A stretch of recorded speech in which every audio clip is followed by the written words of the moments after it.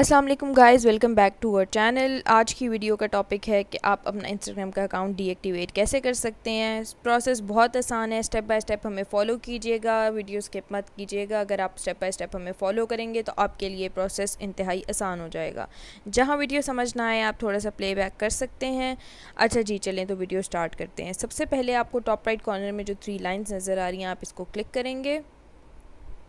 इसको क्लिक करने के बाद आपके पास ये जो पॉपअप होंगे ढेर सारे ऑप्शन जिसमें से आप सेटिंग एंड प्राइवेसी को चूज़ करेंगे। इसके बाद आपने क्या करना है कि आपने अपने अकाउंट सेंटर में जाना है।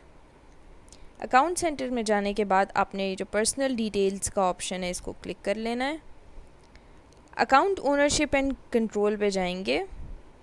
यहाँ पे आपके पास डीएक्टिवेशन और डिलीट करने का ऑप्शन आ जाएगा। अब आपने इस अकाउंट को क्लिक कर लेना है।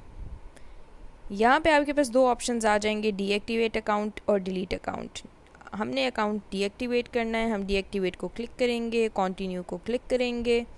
यहाँ पे आप अपना पासवर्ड टाइप करेंगे.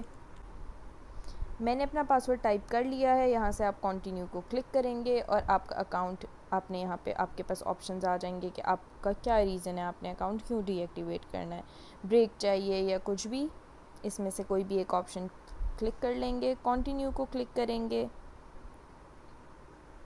अब आप, यहाँ पे आपके पास ऑप्शन है कि आप अगर अपना अकाउंट सात दिन बाद रीएक्टिवेट करना चाहते हैं, एक दिन के बाद, दो दिन के बाद, तीन दिन के बाद, चार दिन के बाद, या ऐसे ही, या कभी भी ऑटोमेटिकली रीएक्टिवेट नहीं करना चाहते तो आप उसको भी ऑप्शन को क्लिक कर सकते हैं।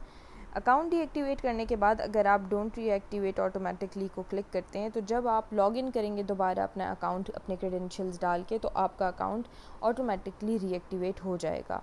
कंटिन्यू को क्लिक करेंगे और यहाँ पे डीएक्टिवेट अकाउंट को क्लिक कर लेंगे। वीडियो अगर अच्छी लगी हो तो हमें लाइक और सब्सक्राइब ज़रूर कीजिएगा। उम्मीद करती हूँ कि ये वीडियो आपके काम आई होगी। फ़ी अमान अल्लाह थैंक यू सो मच